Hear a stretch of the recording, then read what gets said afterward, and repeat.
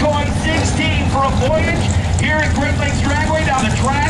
This is more meaningful than anything you've ever watched here on this weekend. When you see two legends and in the memory of one of the greatest innovative engineers in the sport of drag racing, I would tell you that Grump is watching down from the skies tonight with a smile on his face. Godspeed, Grump. That's all I can say. Both of them. And then the original Lee Shepherd car in the left lane, now being piloted